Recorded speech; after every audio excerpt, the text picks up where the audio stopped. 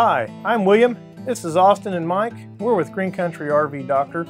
And today we're going to go through a step-by-step -step process of converting a trailer with a converter charger over to a inverter charger with uh, new Freedom HF 1055 series inverter. All right, today we're going to take, uh, most of your uh, trailers run a standard converter charger in them. That's typical in today's industry. However, a new trend is to go in and upgrade from a converter charger to an inverter charger, giving you more flexibility when dry camping in order to run outlets, microwave, TV, things of that nature. So today we're going to remove this converter charger. We're going to go ahead and install the new Xantrex Freedom H HF 1055 inverter charger in its place.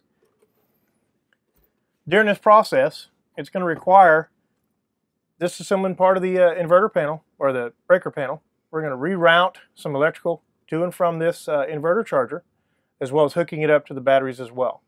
Uh, we are going to do a remote install at a different location that makes it easier to control since this, we're on a horse trailer and this is up kind of at the front of it, which would make it hard to get in and out and, and manage the controls of the inverter. First step in the process is going to go ahead and we're going to remove the cover over the AC circuit breakers. After pulling off the uh, front cover, we uh, go ahead and remove the uh, circuit breaker for the circuit that we're going to be tying into. This is a four circuit panel. Uh, far left circuit is your main input, and the other four are going to be your subsidiary circuits. We're going to be placing this inverter, if you will, in between the circuit breaker in the panel and the load, which would be the appliances and receptacles. During this process, we go ahead and disconnect the AC and DC power to the existing converter and prep it for removal.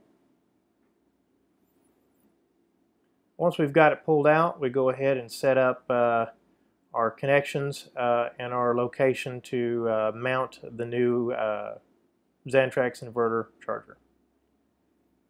Now that we're ready to go ahead and set up our connections, uh, we have uh, already run our Romex wiring uh, in and out of the uh, AC panel over to where we're going to mount the inverter. So we're going to go ahead and prep the inverter by removing the control panel. Uh, in this situation, as I uh, explained earlier, we're going to mount the control panel remotely.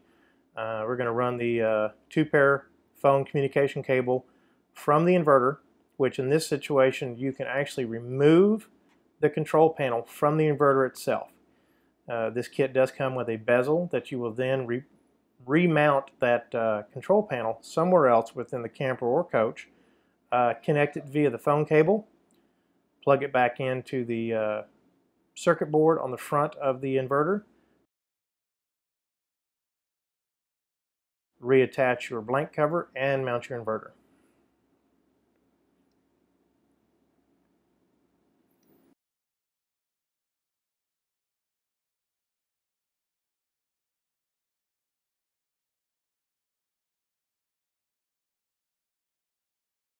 Here you can see the phone cable that we are routing through part of the cabinetry uh, to locate the uh, remote control panel above, above the entertainment center.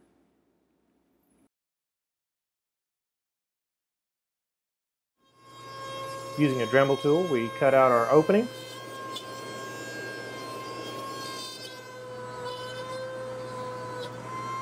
Go ahead and drill a hole so we can feed the phone cable into the cavity behind the cabinet. Now he is taking the bezel, prepping it uh, so we can mount the controller in it, plug the phone cord into the controller, and then mount it to the uh, cabinet face.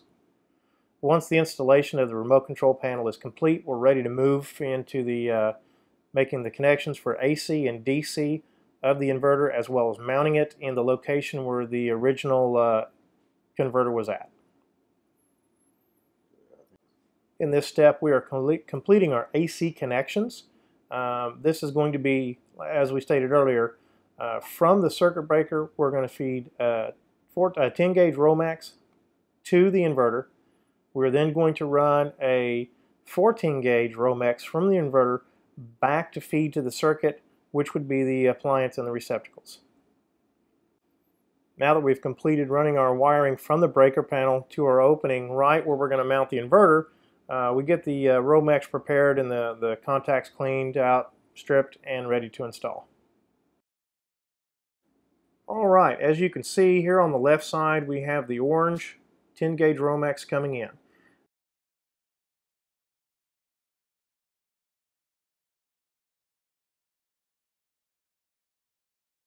Uh, and then as you can see on the right hand side in the yellow Romex for the plug, we've just added a simple three prong plug to plug into the GFI outlet coming off the inverter, making the installation that much more simple. Reattaching the uh, AC-DC panel back into the wall. Uh, in this step here, we're making sure we have a good earth ground. That way the GFI on the uh, output for this inverter will operate correctly. Once we have completed all of our contacts, we are ready to go ahead and tuck our wires back in the panel to reinstall the front cover. Now that we have all the covers and panels reinstalled, you can clearly see how easy it is to upgrade to a new Xantrex inverter charger rather than replace your broken or faulty converter charger system. Okay, now that we've completed installation of the uh, new inverter, we're going to go ahead and power it up and we're going to test the AC input and charging mode.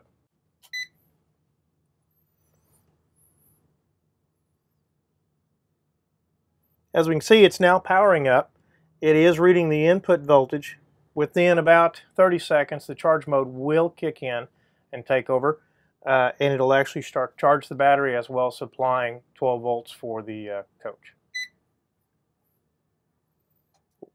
We are now going into a bulk charge status.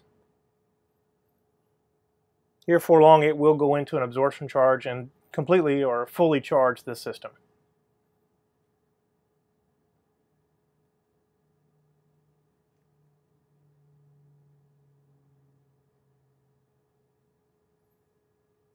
Okay, it is now in absorption charge. This is this will complete this part of the test. We're now going to head and shut off the power to the AC, which will allow the inverter to actually go into our invert mode, and we're going to test its ability to supply 110 volts to the vehicle without an AC input. It is at this time reading the battery voltage at 12.6 volts. It is continuing to supply 12 volts for the, the vehicle as well as power the outlets or the circuit that we are supplying with this inverter.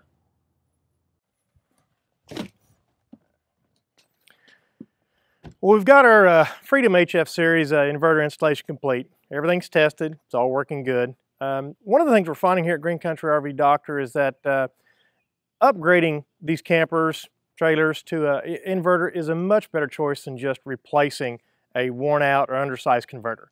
Uh, better reliability, better lifespan on the batteries. Uh, it's also now providing additional feature for our customers where they can actually go out true dry camp, but still use basic 110 features such as outlets, TV, things of that nature. So as you can see from the install, it's a pretty simple process to upgrade to this inverter. And we're also adding increased versatility for the customer, making this a very nice product to work with.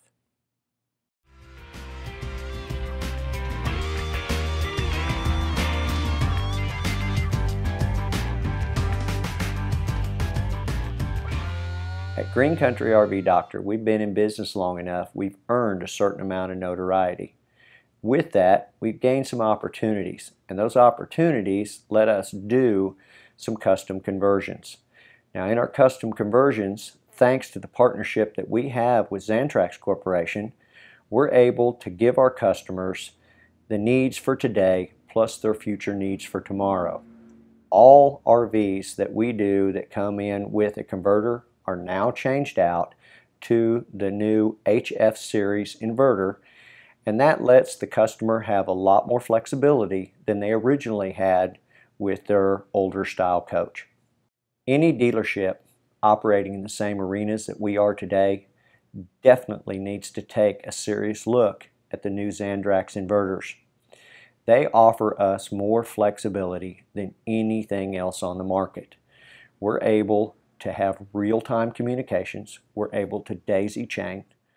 We're also able to communicate with the inverter via our cell phone, which allows our techs to be able to diagnose problems even if the customer is in the field. The biggest value that we've found so far with the Xantrex line is now the availability to be able to use the quick connect plugs instead of having to reroute a cable we can utilize an existing cable.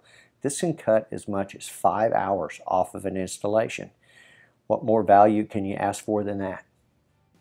From my professional opinion the Xantrex inverter is definitely worth looking at. If you haven't used one before definitely give it some consideration